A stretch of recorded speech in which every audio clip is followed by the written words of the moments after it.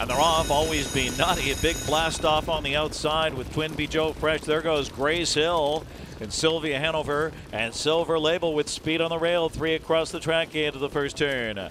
So always Benatti continues on to take the, lead here with Yannick Gingras as Grace Hill settles in second. And Silver Label will take a seat in third. Sylvia Hanover is fourth. Twin B Joe Fresh was outspread at fifth and going up. And after that leader is Sylvia Hanover. And out of the pocket goes Grace Hill. Aggressive handling here. 26 and 3 across the backstretch they go.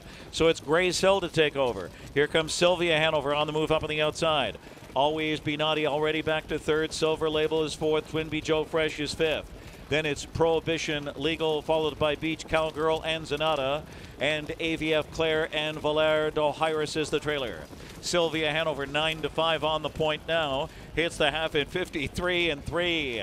Sylvia Hanover and Grace Hill are 1 2 onto the far turn. Going after them, Twin B. Joe Fresh makes that first over commitment. A live toe for Prohibition Legal. Stride for stride with a locked in, always be naughty on the inside. Then it's Silver Label. And up third over, Valar Dohaeris tracked by Zanata with excess cover. Then Beach Cowgirl and AVF Claire at three quarters. And Twin B Joe Fresh takes the lead from Sylvia Hanover and is looking to take off. Three quarters, 121 and three. Into the stretch drive. Twin B Joe Fresh in front by four, now five.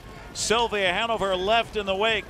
Full out is Prohibition Legal. On the inside, Grace Hill. It's a romp. Destruction. Twin B Joe Fresh, the current queen of pacing. Dexter Dunn's got six today. Twin B Joe Fresh. Then Silver Label. Three way photo.